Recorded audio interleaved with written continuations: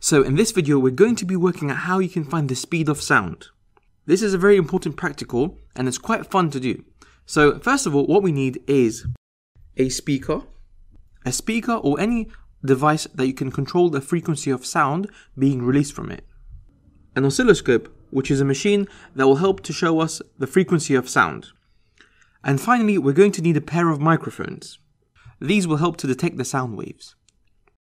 Now, we're going to use the formula that speed of sound is equal to its frequency times by its wavelength. Remember, frequency is going to be measured in hertz and wavelength is measured in meters. Now, the first thing we're going to do is turn on our speaker and control what frequency of sound is released. So, for example, let, let's set the frequency of sound to 50 hertz. Now, initially, the microphones are going to be in line with each other, which means that they will both be receiving this frequency at the same time, which means that they will both be detecting the sound waves at the same time. You will see that on the oscilloscope, both waves, one for each microphone, are synchronized.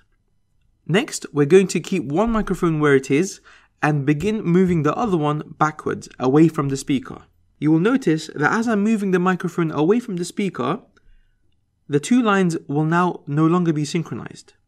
The reason for this is that the microphones are no longer receiving the sound waves at the same time.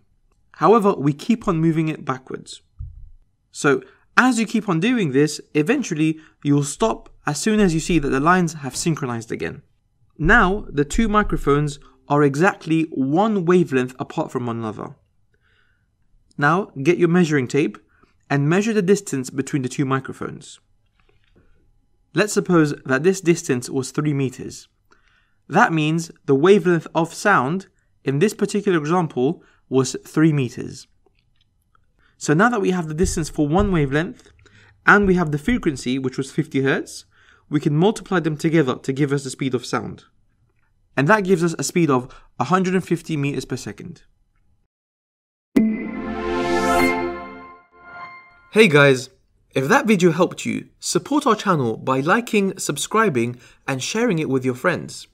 And more importantly, if you still have questions, drop a post on our forum at examqa.com, where I will personally be there to help answer your questions. Mohammed signing out.